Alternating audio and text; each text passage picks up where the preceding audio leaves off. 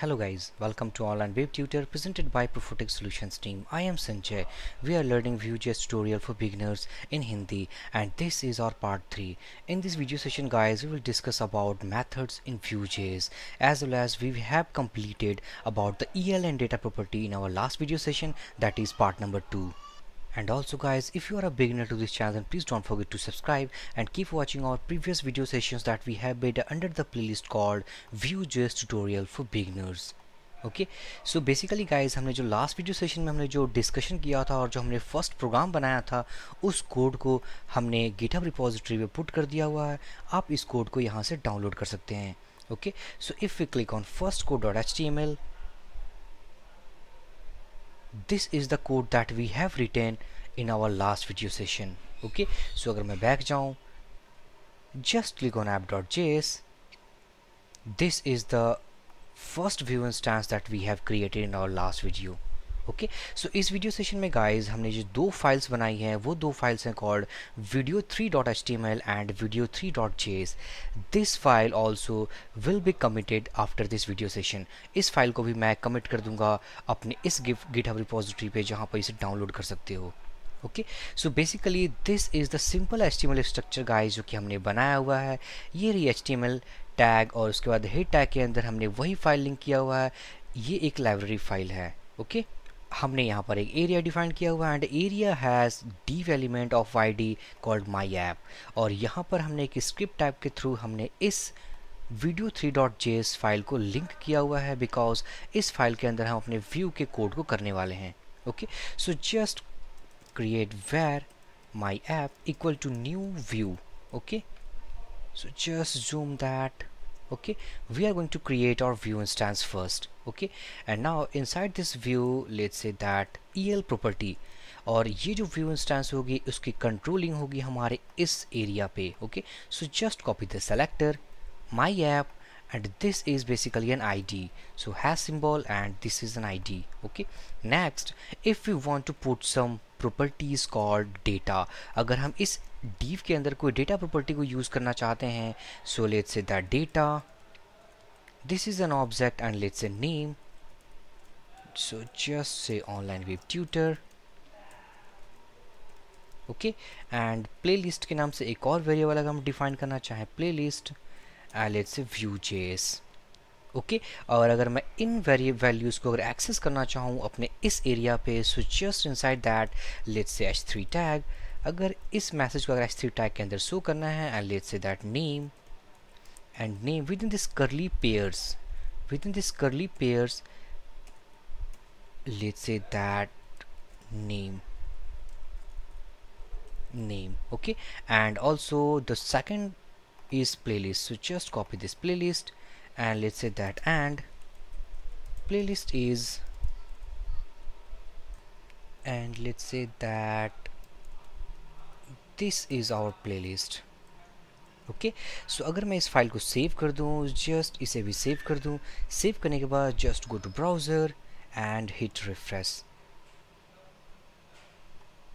and this is the value okay agar main ise inspect karu so just click on inspect element and this is within h3 tag name is online web tutor and the playlist is vue.js this message actually came from this video3.js file जहाँ पर इन values को हमने define किया हुआ है और इन values को हमने करली के पैरेंथेसिस के साथ सॉरी करली ब्रैकेट्स के साथ हमने यूज़ किया हुआ है ओके okay? सो so, अगर अब हम देखने वाले हैं गाइस कि हम अपने व्यू जेस एप्लीकेशन मेथड्स को कैसे डिफाइन करते हैं। सो बेसिकली मेथड्स बनाने के लिए guys just separate with comma एक और प्रॉपर्टी होती है called methods inside this Vue instance okay so methods this is also an object so let's define our first method called run okay तो अगर मैं इसे डिफाइन करना चाहूँ so let's run this is a function and let's return let's I am running okay this is the simple message that we have written so अगर मैं इसे save कर दूँ सेव करने के बाद अगर मुझे इस मेथड को कॉल करना है अपने इस फ़ाइल पे so just copy this name run go to video three go to video3.html and let's say that inside this paragraph tag, और अगर हमें उस मेथड को कॉल करना है so this is very basic this is a method so just we need to include parenthesis also okay so अगर मैं इस फ़ाइल को सेव कर दूँ सो जस्ट जाऊँ ब्राउज़र पे and refresh this page once more and this is the message that I am running. This message actually came from our method. Okay, that method actually defined within this view instance. Okay okay? और अगर इस method में अगर हमें कोई parameter pass करना हो तो हम वो पैरामीटर्स भी पास कर सकते हैं अपने इस मेथड को अपने इस एच फ़ाइल के थ्रू ओके सो अगर मैं एक पैरामीटर पास करूँ let's say run let's say that online web tutor okay so this is the value that we have passed inside this method okay okay? इस parameter को अगर हमें receive करना हो अपने इस व्यू इंस्टेंस पे so let's pass here let's a message और वो जो मैसेज जो हमने इसके अंदर पास किया हुआ, वो मैसेज हमारे अब इस वेरिएबल में आ चुकी है so just make copy of this variable and let's say I am running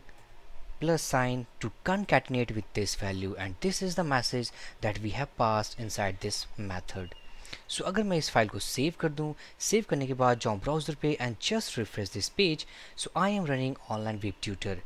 this is the message that we have passed right here inside this HTML file okay okay? हमने यहाँ वो मैसेज पास किया हुआ है अगर मैं इस message को चेंज कर दूँ समथिंग कॉल्ड यूट्यूब सेव कर दूँ रिफ्रेश करूँ इस पेज को and this is I am running YouTube okay so आप इन पैरामीटर्स को यहाँ से पास कर सकते हो। अभी तक फ़िलहाल गाइज़ हमने सिंगल पैरामीटर पास किया हो। अगर आपको मल्टीपल पैरामीटर्स भी पास करने हो समथिंग लाइक टू और थ्री तो आप कॉमा से सेपरेट करके उनको पास कर सकते हो ओके okay? सो so, जैसे मैं अगर पास करूँ लाइक संजय ओके सेव कर दूँ सेव करने के बाद इसे रिसीव करना हो सो यहाँ पर एक और पैरामीटर डिफाइन करना पड़ेगा अपने इस मेथड में because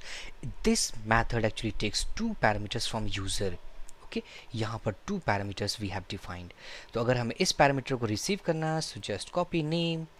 and let's say that name colon plus name okay so अगर मैं सेव करता हूँ इस फ़ाइल को so just go to browser refresh this page once more and this is the name okay so successfully guys हमने ये देखा कि हम अपने मेथड्स को कैसे डिफाइन करें व्यू जेस एप्लीकेशन में। साथ ही साथ हमने पैरामीटराइज मेथड को भी देखा कि हम अपने मेथड्स को पैरामीटराइज कैसे बना सकते हैं। अगर हमें कोई ऐसा छोटा सा टास्क मिले, हमें अपने व्यू जेस एप्लीकेशन में, जहाँ पर हमें एक मैथड को बनाएँ और उस मैथड का काम हो गया हमें वो वेलकम मैसेज शो करे। Okay? Just we need to define a method in Vue.js application, which basically prints the welcome message okay तो हम कैसे बनाएँगे? So just go inside this methods property separate and let's say that welcome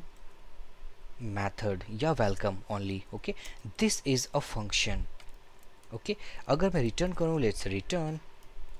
good evening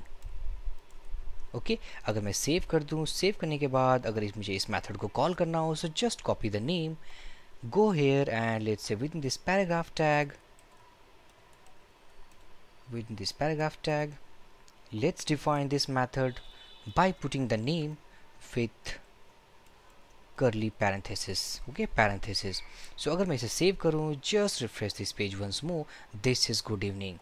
but this is a static message okay evening is the static message यहाँ पर जो evening value हमने पास किया हुआ है this is a static message अगर हमें इसे डायनेमिक करना हो so let's say daytime okay this is a variable अब हमें ये डे टाइम हमें पास करना होगा अपने इस मेथड के अंदर ओके सो अगर मैं इसे रिमूव कर दूँ इसे स्टार्टिंग मैसेज को let's say concatenate with day time okay तो मैं अगर इस मेथड के अंदर पास करूँ let's say that morning save करूँ इस फ़ाइल को refresh this page once more this is good morning okay afternoon so just pass let's say afternoon okay मैं इसे सेव करूँ सेव करने के बाद अगर मैं इसे रिफ्रेश करूँ this is afternoon now we have made a method हमने एक मैथड बनाया जो कि हमारे वेलकम मैसेज को शो करेगा with dynamic day time okay ये थे guys concept of methods in Vue.js application अगर हमें इस डेटा के पैरामीटर्स को एक्सेस करना हो called name and the playlist all these values actually we want to access inside this method how can we achieve that in values को हम कैसे एक्सेस करें अपने इन मैथड्स के अंदर? So let's define another method called value access okay हमने एक और मेथड बनाया लेट्स ए फ़ंक्शन और इन वैल्यूज़ को हम एक्सेस करना चाहते हैं अपने इस मेथड के अंदर ओके सो लेट्स रिटर्न अगर हमें इन वैल्यूज़ को एक्सेस करना हो so what is the option for us मैं यूज़ करूँगा दिस डॉट दिस कीवर्ड लिखते ही गाइस ये रेफरेंस करती है हमारे इस व्यू इंस्टेंस के इस डेटा प्रॉपर्टी को ओके okay? तो अगर मैं लिखूँ this dot name so basically this dot name indicates that this view instance with data this dot name means name okay तो अगर मैं लिखूँ this dot name concatenate with and let's say that plus this dot playlist okay this gives online web tutor Vue JS okay तो अगर मैं इसे save करूँ save करने के बाद अगर मैं इस मेथड नेम को कॉपी कर लूँ अपने एच फाइल पे जाऊँ let's define another paragraph tag and let's say that within this curly braces this is method name with parenthesis okay तो मैं इसे सेव कर दूँ वापस जाओ ब्राउज़र पे just refresh this page and this is the message called online web tutor vue.js okay okay? तो हमें किसी भी पैरामीटर्स को अगर एक्सेस करना हो अपने इस डेटा मीन्स प्रॉपर्टी के अंदर से तो हम basically we need to write this dot property name this dot playlist this basically refers to this instance with this data property okay okay? तो हमने काफ़ी सारे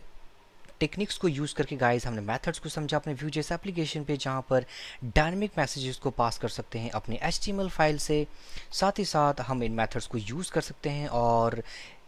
डेटा प्रॉपर्टी का अगर वेरी वैल्यूज़ को यूज़ करना हो तो हम उसे भी एक्सेस कर सकते हैं okay so this is the very basic idea about the methods in Vue JS okay so in this video session guys if you have any doubt then please drop your comment. I will give my reply as soon as possible. So for this video session guys thank you for watching. Have a great day